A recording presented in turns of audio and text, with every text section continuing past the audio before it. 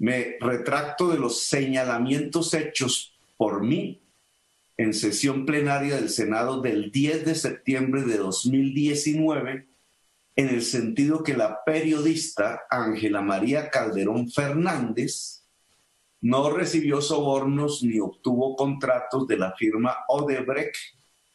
En consecuencia, pido excusas públicas por el agravio que pudo haber sufrido por dichas manifestaciones mías.